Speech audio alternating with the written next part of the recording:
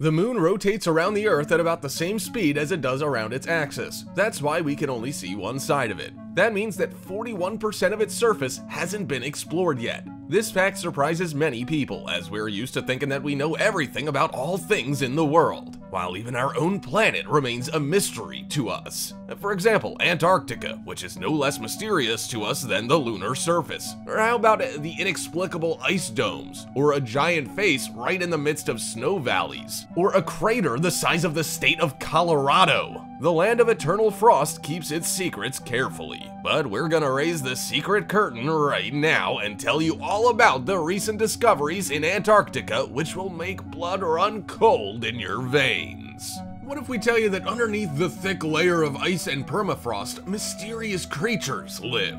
Sound improbable? But scientists have already found something interesting right here beneath this dome. Yes, Antarctica is almost entirely covered with glaciers, but underneath them there is conventional terrain and even some active volcanoes. Recently, the scientists discovered that the heat from one of the volcanoes has melted the glacier, but it wasn't due to a one-time eruption, rather a continuous heat radiation that has been occurring for so long that it led to formation of warm caves under the ice. These caves under the ice dome are located on the Erebus Mountain on the island of Rosa. And it's not just a single big cave, we're talking about a whole labyrinth of corridors and rooms inside the cave. They were created by the stream that rises up from the volcano. Scientists believe that there could be some form of life deep down in these caves. It can get heat from the volcano, water from the ice, and sunlight coming down through the glacier. After all, Antarctica is exposed to an intense solar radiation. Researchers have found these perfectly round areas just recently, so they haven't had a chance to study them just yet. But they assume that there might as well exist an ecosystem, a closed but a diverse one. Do you remember those sci-fi movies about dinosaurs that survived hidden in ice? There could be something similar in this case. Experts have already discovered DNA traces which they are not able to identify. This means that creatures unknown to biologists live under the Antarctica ice caps. What kind of organisms do you think can dwell in this environment? However, living creatures hidden under the ice are not the strangest mystery of Antarctica. The thing is, this continent, because of its remoteness and cold, seems not just frozen in ice, but in time as well. Can anything interesting happen in a place with almost no life in it? As it turns out, it can. Moreover, sometimes Antarctica shows us something not only new and unexplainable, but frighteningly large as well. For example, the giant face which was spotted on Google Earth on the satellite images of Antarctica. It's a mountain-sized silhouette of either a human or an alien, and it resembles a fragment of a statue that appeared from under the snow and ice. A mouth, nose, and a pair of eyes are clearly visible on this scary find. Perhaps those are ruins of a civilization that once existed and that had contact with aliens. Or maybe it's just a trick of Mother Nature and what we see is just a play of snow, wind, and frost. Actually, the experts suppose that the gigantic face is really just a massive snow crust, which happens to look so bizarre. But what you can argue is the appearance of huge holes in the ice the size of South Carolina or Colorado states. The mysterious hole was first discovered in 2016. It was discovered again in 2017. Initially, it had an area of 3,700 square miles, or 9,600 square kilometers, but gradually it grew into a gigantic 30,000 square miles, or 78,000 square kilometers. The mysterious spot appeared in the ice-free part of the ocean right in the middle of the icy desert. So why did this happen? For almost half a century, scientists could not explain the nature of these giant holes, called polynyas, from a Russian word that means an ice hole. It was only in 2019 that the scientists from the University of Washington gained the support of NASA in their study of the strange formations in ice using satellites. It turned out that due to the Earth's climate change, such giant holes in Antarctica will appear more and more often. The reason for this is that the cold waters of the ocean under the ice get mixed with the warm currents. The warm water then rises up and melts the ice with lightning speed. Put simply, a hole the size of an American state appeared in 3, 2, one, well, really quickly. Why does it happen so fast? The reason is the Maud Rise Plateau with a massive seamount, a real underwater Everest. This seamount is situated close to these holes, and its shape and topography enhance the flow of the warm water toward the surface. It creates not just a current, but something more like a powerful hose stream that washes away the cold ice. However, although glaciers stretch far beyond the Antarctic continent, we should remember that under the most part of the ice, there is land. Unlike the North Pole, the South Pole is not just a frozen ocean, but a continent under glaciers. These glaciers weigh hundreds of thousands of tons. All this mass has been pressing the land down for millions of years. No wonder that the lowest land point on the planet was found here. The find was made by a team of researchers directed by scientists from the University of California, Irvine. They found a canyon that was particularly affected by the ice pressure. This place is located under the Denman Glacier in East Antarctica. Its depth is stunning, 2.1 miles or 3.4 kilometers below sea level.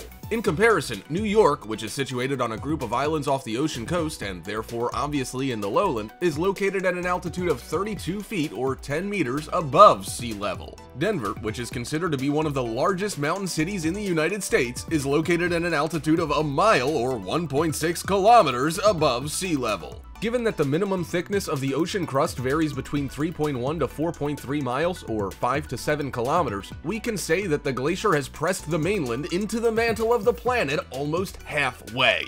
Can you imagine the time it takes to push a whole valley so deep down? After all, Antarctica is the place where you can really learn a lot about the past of our planet. For example, everyone knows that about 65 million years ago, most dinosaurs became extinct. Thanks to that, mammals and birds got free space for themselves, a chance for growth. But what species lived in that period? Who took the place of the dinosaurs after their disappearance? Who became the most dangerous and cunning predator after the extinction of Tyrannosauruses? Scientists exploring Antarctica have found out. You wouldn't believe this. It turns out that for hundreds of thousands of years, the dominant predators in the southern hemisphere of the planet, the largest and most formidable carnivores were the penguins. They were distant relatives of the contemporary penguins, and they were faster, more aggressive, and large. This ancient penguin was the height of a human and weighed about 265 pounds or 120 kilograms. And it wasn't fat because the climate was mild, subtropical, and there was no real need to protect oneself from the cold, but muscles. Their bodies were slightly different from those of contemporary birds. They had stronger legs and body proportions resembling those of an albatross. Actually, petrels and albatrosses are their closest relatives. The skeletons of these birds were found on the islands of the mainland of Antarctica. It turns out that they lived about 60 to 62 million years ago, so we can suppose that these birds lost their ability to fly and became waterfowl precisely because the dinosaurs freed a niche for them to hunt.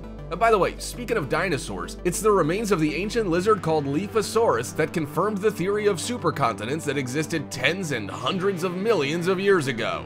First of all, the remains of Lystrosauruses were also found on other continents besides Antarctica, while it was never able to swim. Secondly, during an archaeological expedition in Antarctica, a skeleton of a cynodont reptile was found. Similar remains have also been found in South America and India. That's why the scientists believe that Antarctica was once connected to other parts of the world, South America, India, Africa, and Australia. And there were ancient supercontinents called Gondwana and Laurasia. In addition, the climate in Antarctica was much warmer. Densely inhabited subtropical and even tropical forests were growing there, and also it was slightly closer to the equator in the southwest of the Pacific Ocean. But Antarctica surprises us not only with discoveries of the past, but also of present times. For example, under the ice in West Antarctica, geologists and scientists from NASA found a previously unknown huge underground lake. It's just that instead of water, it's filled with magma. The thing is that on the land of Marie Byrd, there is a number of active mini volcanoes. They heat this territory with about the same intensity as the Yellowstone supervolcanoes would.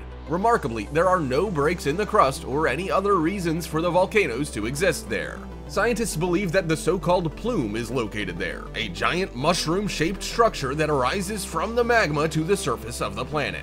Plumes consist of a lightweight and hot substance. They provoke the appearance of volcanoes under the glaciers. However, these volcanoes are not mountain-shaped. Rather, they're simply erupting holes in the ground under the glaciers. Because of this, the ice caps of Antarctica melt three times faster over the land of Marie Byrd than over any other area. However, all these discoveries and puzzles, no matter how interesting they are, usually relate to Antarctica itself, a place that seems to be a separate world to the majority of people. Now get ready for a real shock, because Antarctica has contributed to the exploration of outer space and the discovery of extraterrestrial life. Did you think it was necessary to build spacecrafts to successfully search for aliens? Not at all. In 1984, the Allan Hills meteorite, ALH84001, was found in Antarctica, and all these decades, it's been researched. According to the very first analyses, scientists have discovered that it wasn't just a piece of rock wandering around in space that was once pulled to Earth, this meteorite is a fragment of Mars. What could happen to the red planet that made its piece travel such a long stretch? After all, the average distance between the planets is about 140 million miles, or 225 million kilometers, and can fluctuate significantly when they approach or move away from each other while rotating around the sun. Of course, some of you may doubt that this stone is from Mars, but it's a proven fact. First of all, the composition of the soil is identical to the Martian rock samples that are available. Secondly, there are inclusions of isotopes that fully correspond to those in the atmosphere of this planet. But this is not the most important discovery. Fossil remains of ancient bacteria were found in the depths of the rock. Moreover, it's still unknown whether these bacteria are terrestrial or Martian. The fact that the fossil remains of bacteria in the stone are similar to microorganisms of the Earth speaks in favor of the first theory, because it means that water was necessary for their existence. The liquid that now remains on Mars is similar in composition to the antifreeze liquid. Could even a small amount of bacteria survive on it? On the other hand, how could terrestrial bacteria get in the depths of the meteorite? Microorganisms are not very likely to be stubbornly penetrating a stone that fell billions of years ago. What do you think? Please let us know in the comments below. Hit the like button and be sure to subscribe to our channel.